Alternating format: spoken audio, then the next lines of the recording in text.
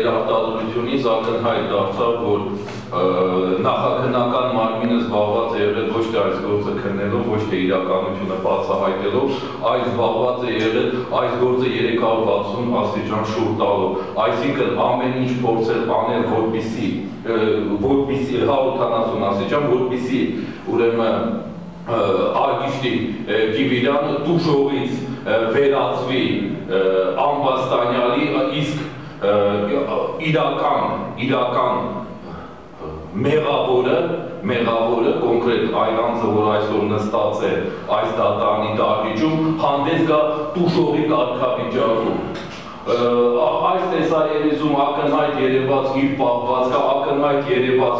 ոնց է ինքը հարվածում ինձ, հա, Եվ այս պարագայում, այս պարագայում, չնայած ես նորից եմ կրկնում, որ վստահ եմ, որ